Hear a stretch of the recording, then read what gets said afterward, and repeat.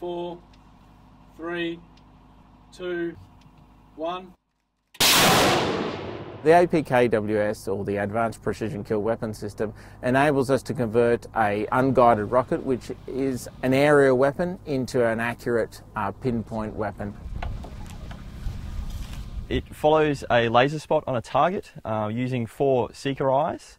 And essentially, what it does is it deploys small winglets or wings and guides the rocket onto the target. It gives the uh, current uh, weapon platforms the ability to uh, look at targets from the 2 kilometre to the 5 kilometre range, which currently is being filled by the Hellfire missile. But this uh, is a, a, cheaper and a far simpler uh, solution, and also it takes advantage of the ability to carry a, a lot more uh, 70 millimetre rockets on weapons platforms.